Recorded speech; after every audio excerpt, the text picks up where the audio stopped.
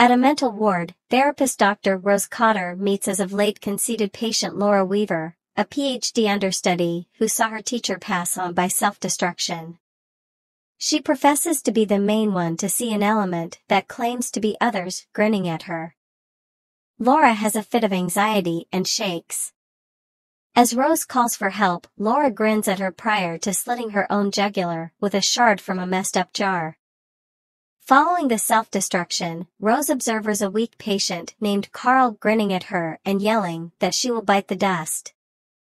At the point when she arranges for Carl to be controlled, Rose out of nowhere sees that Carl had been sleeping the entire time. Worried for Rose's psychological prosperity, her manager, Dr. Morgan Desai, gives her a took care of week. The powerful events keep hurting Rose's associations with her life partner, Trevor, and her sister Holly. Rose has had a stressed relationship with Holly since the demise of their harmful mother, who went too far and whose body was found by a youthful Rose. At her nephew's birthday celebration, Rose is present is some way or another supplanted by her dead feline, which had vanished the prior night.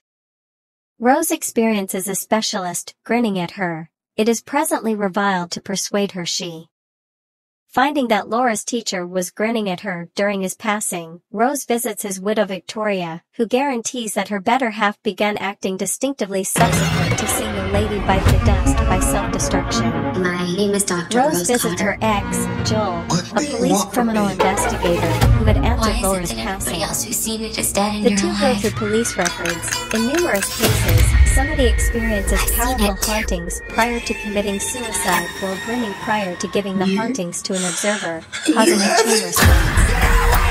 Joel finds that none of the casualties last longer than seven days, with the exception of Robert smiling. who is in jail for an outsider. Rose and Joel visit town under the misrepresentation that a a patient of Rose's has been killed. Talley explained that worst the smile way to break seen. the chain is to kill another person, the former observer to whom they were violently made.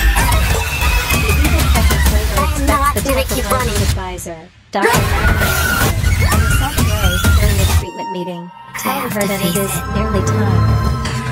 Later on, Rose has a dream of killing Carl at the medical clinic with her Desai, Only in who rips the skin Special off his previews face. Thursday at 7 p.m. Subsequent to now. recognizing a blade inside an inconsistent Rose's vehicle, Desai calls the police on her.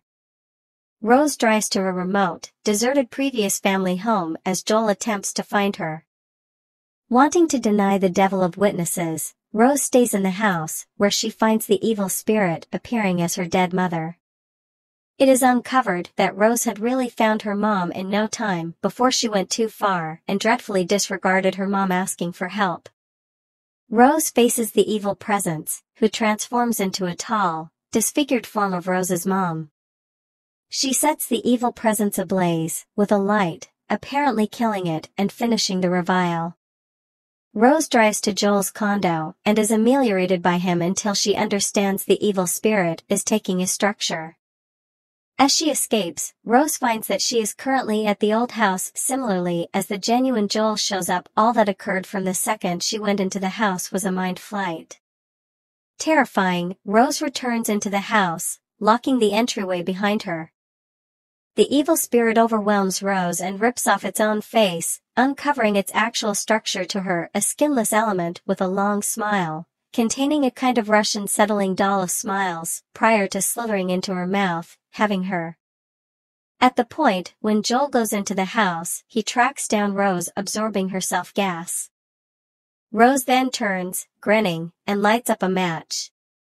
As Rose sets herself ablaze, as yet grinning, Joel observes, weakly realizing that the revile has been given to him.